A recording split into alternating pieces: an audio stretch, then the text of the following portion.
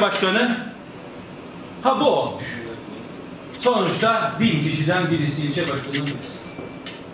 Ben de onlara diyorum ki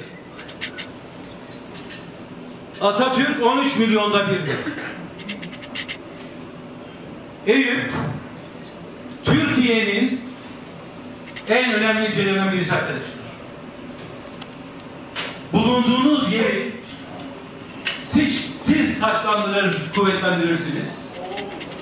Bazı pozisyonlar insanlara güç verir. Bazı insanlar o pozisyonlara güç verir. Siz Eyüp'ü İstanbul'un ortasındaki ilçeyi 250 kilometre kare yüz ölçümü olan 400 bin nüfusu olan ilçeyi binde bir saymamalısınız. Çünkü Eyüp İstanbul'un da Türkiye'nin de ortasında olan bir ilçe. 11 ilçeye komşu. O yüzden başından beri söylüyoruz. Eyüp'te yaptığınız kıvılcım İstanbul'u saran, Türkiye'yi saran bir iktidar ateşine dönüşür. Bunu bilelim dostlar.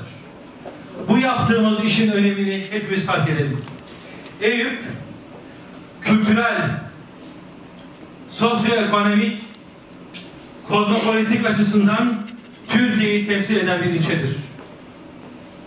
Geçenlerde bir arkadaşımızla konuşuyoruz. Dediler ki Anadolu'da neler var? Hangi ilçeler büyük? Birisi Kuşadası dedi. Ötekisi Tarsus. Baktık Tarsus'a nüfusu 360 bin. Manyas diyen oldu 190 bin. Ayvalık diyen oldu o, o daha da küçük 80 bin. Nazilli büyük ilçedir. 180-190 bin nüfusu. Eyüp 400 bin. Anadolu'daki neredeyse bütün ilçelerden büyüktür. O zaman bunun farkında olacağız. Eyüp Cumhuriyet Halk Partisi örgütü Türkiye'deki en önemli örgütlerden bir tanesidir. Bunun farkında olacağız.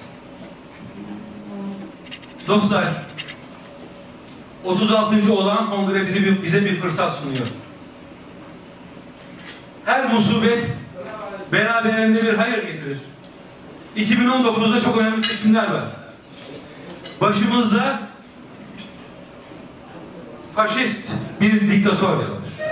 Baskıcı, zulmeden, insanları sadaka kültürüne alıştırmaya çalışan bir iktidar var. İyi niyetli değiller. Karşı devrim yürütmeye çalışıyorlar.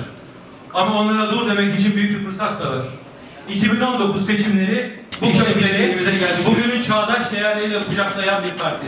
Ki bu partime karşı direnenlerin bir örgütünü bazı dostlarla konuşuyorlar.